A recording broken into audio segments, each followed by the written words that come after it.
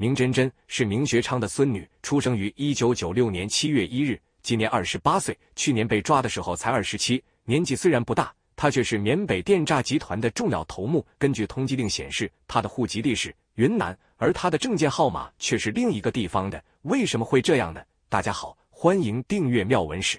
证件号码是第一次上户口时根据户籍地确定的。普及一个小常识：证件的前六位数分别代表省、市、区的代码，这个号码是终身不变的。明真真小时候上户口，第一次是上在某地，后面又将户籍转移到边境某地。明真真的爷爷和父亲都是缅甸人，他却弄了个龙籍。白家二少爷白英仓也有一个龙籍。这些二代三代们都这么热爱龙籍，却干着伤害龙哥的事。明真真是二零二三年十一月十六日被抓的，这都进去七个多月了。他在里面都交代了哪些罪行？一、供认卧虎山庄从事电诈活动。缅北卧虎山庄是明学昌家族控制的一个电诈园区，明真真是明学昌家族重要成员，也是卧虎山庄的总经理。园区内有四栋楼，每栋楼里都在进行电诈活动，共有数千人。卧虎山庄是明家的主要产业之一。也是果敢规模最大和最早的电诈园区之一。他爷爷明学昌在被抓的当天畏罪自杀。明真真作为卧虎山庄的负责人，具体事务都由他一手操办。在强大的心理攻势下，他交代了卧虎山庄从事电诈活动的违法事实。二，承认了一千零二十事件。一千零二十事件指的是二零二三年十月二十日发生的一件大事。不知道的可去网上搜，具体细节就不说了。这件事情，明真真就是主谋。他不下令，谁也不敢这么做。毕竟四名同志在危急时刻已经亮明了身份。因为这件事的发生，加速了缅北电诈集团的灭亡。在七天后，果敢同盟军就发动了幺零二七行动，以铲除电诈为口号，指导老街。三承认组建私人武装。缅北这个地方真的很奇葩，只要你有钱有资源，你就能组建一支队伍。比如当年的若开军通米能，也是在缅北成立的若开军，成立时才二十七个人。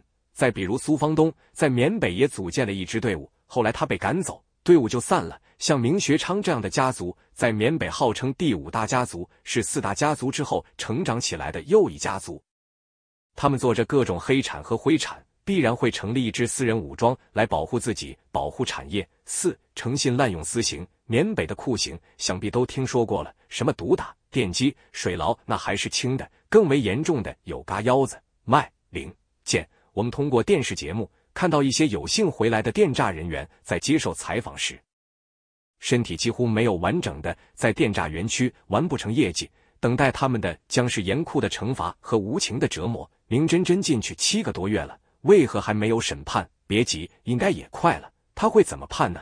有人建议应该将他在别人身上用过的酷刑让他也体验一遍。我们肯定不会这样做。对于明真真，重的话可以判个死刑。轻的话就在里面终老了。提起缅北四大家族的覆灭，无不拍手称快。然而，之所以能够覆灭如此之快，其原因还是四大家族里面的一个关键人物，那就是明真真，以一己之力扭转整个缅北战区的局势。说起来，彭德仁还得谢谢他，那就是令人愤怒的一千零二十卧虎山庄惨案。该地区是名家电诈园区产业，这里面关押了数百名被骗来的电诈分子。十月二十日晚。明家准备将卧虎山庄的电诈人员进行转移，而此次负责的就是明真真。只是让他不知道的是，园区内还潜伏了四名卧底兔子。当天晚上，不知是何原因，园区内的电诈分子在转移的过程中突然集团逃跑。明真真为了稳住场面，竟下令开枪射杀，多名人员伤亡。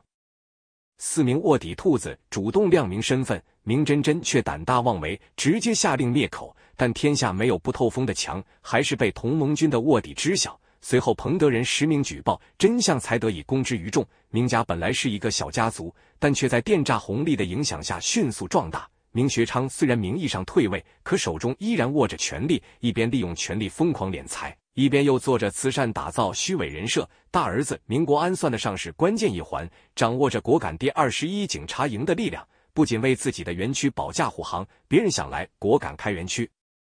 必须要先到明家大院报道。二儿子明国平是石原子民地队长，也拥有着一支武装力量，这也是明家能迅速崛起的根本原因。除此之外，明学昌三女儿明菊兰、女婿毕慧君以及孙女明真真都参与电诈园区的管理与扩张。明真真算得上是电诈三代中的佼佼者，心狠手辣，办事果决，却也在欲望中迷失了自我，最终创下弥天大祸。随着以明学昌家族为首的电诈集团犯罪分子的落网，长期盘踞在缅北从事网络诈骗及网络赌博等犯罪集团的四大家族的神秘面纱被揭开。魏荣是缅北四大家族成员，是亨利集团董事长，是魏清涛被抓后已移交中国警方的姐姐，其父魏超人，叔叔魏怀仁。丈夫林清朝是亨利集团的核心人物。亨利集团成立于一九八九年，主要经营娱乐、旅游、地产开发、黄金、珠宝等，这些都是表面产业。最主要的灰产是网络诈骗、网络赌博、人体器官买卖等灰色产业。在果敢老街的新锦江赌场就是亨利集团旗下的产业，甚至遍布柬埔寨、泰国都有亨利集团出资建立和控制的诈骗工业园。更恐怖的是，亨利集团的掌门人。不是叼着雪茄、布满纹身、刀疤脸的男人，而是貌美如花、穿着时尚、光鲜亮丽却又蛇血心肠、心狠手辣的女人魏荣。网传被卖到诈骗园区的猪仔，在失去最后一点点利用价值后，就会被转手卖到医疗船上进行嘎腰子，把所有能用的人体器官割下来，再把尸体扔到大海里喂鱼。这些令人咂舌的犯罪行为都和亨利集团脱不了干系。二零二一年。魏荣拍摄一条祝福中国新春快乐的视频，让他一时收获了大批粉丝，成为了红极一时的网红。除了华裔的身份，她的丈夫林清朝出生在福建，据说是福建商会的会长，在缅甸地位也很高，还是缅甸灵州集团的董事长，并经常向国内进行捐款捐物。表面看起来，魏荣夫妇还是个爱国的外籍华人，实则是心狠手辣的诈骗头目。二零二一年。年事已高的魏超人把亨利集团交于魏荣接管。魏荣从小耳濡目染家族产业，遗传了父亲魏超人心狠手辣的秉性。对于网络诈骗、网络赌博、非法禁锢，涉及到的黄赌毒等，管理起来得心应手。在缅北提起来魏荣，很多人都瑟瑟发抖。亨利集团打着高薪招聘的幌子，引诱一些贪图高薪的中国人到缅甸工作，实则是从事电信诈骗和网络赌博。女孩子则从事娱乐活动，经常被训练成服侍男人的工具。亨利集团不光涉及很多灰色产业，与当地政府、军方高层也有着很大的关系网，而且与国际黑帮也有着千丝万缕的联系。如果落入魔窟，想要逃走，真的是异想天开。随着明学昌的自杀，明国平、明真真、明菊兰被缅甸缉拿归案，现已移交中方。相信魏荣的末日也快到了。据知情人士透露。明真真别看年纪只有二十七岁，但却和他的爷爷非常相像，做事心狠手辣，还懂得伪装自己。更重要的是，明真真在家族地位不次于父亲明国安，可见这个明真真在明家也是一个狠角色。但犯罪分子的终点肯定是被绳之以法。明真真在和父亲明国安、爷爷明学昌逃亡的过程中，还是被缅甸军方捉拿归案了。爷爷明学昌选择了自杀，明真真也是被移交给了我国警方。电诈害人不浅。这些年有多少家庭因为电诈支离破碎？在明真真被捕后，有网友也是认为他应该受到应有的刑罚，毕竟他可是一千零二十惨案的最大刽子手。还有网友说，缅北甚至整个缅甸的很多家族都恨死这个明真真了，就因为他的凶残，最后导致果敢同盟军以清剿电诈为借口发动武装攻击，损失太大。还有网友截图截到他曾经在一次中秋晚会上唱的，后来。